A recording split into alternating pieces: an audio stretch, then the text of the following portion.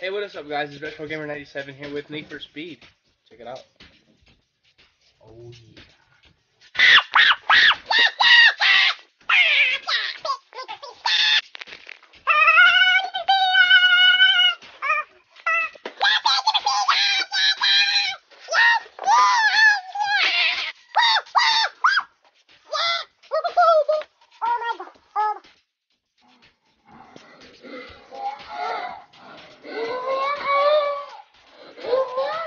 Ha